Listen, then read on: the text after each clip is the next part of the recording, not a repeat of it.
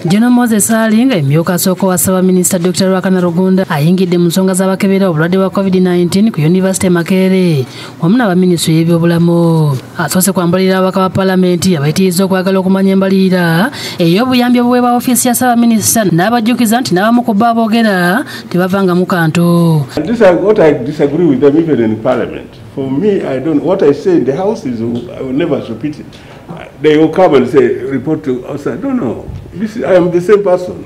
ategeeza nti pulezidenti yamulagidde okutabaganya b'e makerere saako n'abaminisita y'ebyobulamu. Ku butakkaanya obugambibwa okuva ku nsimbi saako n'alizaati enfu ezaafulumizibwa abakebera covid-19 ku yunivasite makerere. Bwe bategeereza nti abantu mwenda baali bazuuliddwamu obulwadde buno ekitaali kituufu. Yesterday, they, they, they, they, they were saying COVID money, the fund which is raised, directing how to use it, eh, as, if they are the one who created it. We say, no, no, no.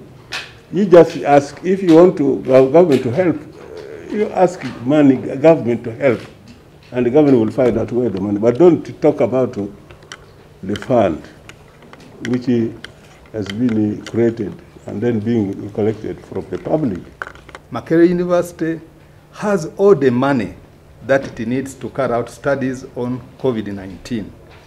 As we have reported, right now there are 117 studies on COVID-19 going on at the university, fully funded by the government of Uganda to the tune of 7.3 billion shillings.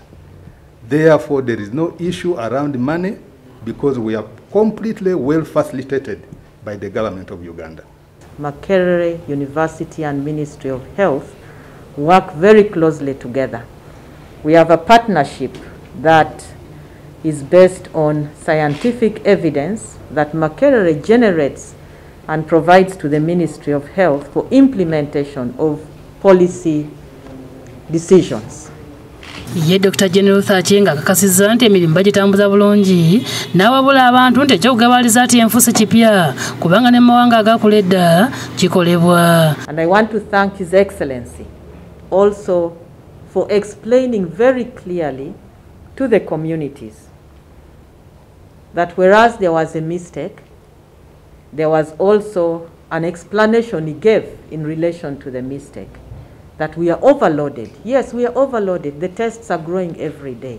shamshadi Nalujia, yakusakidde eggulu eno ku tv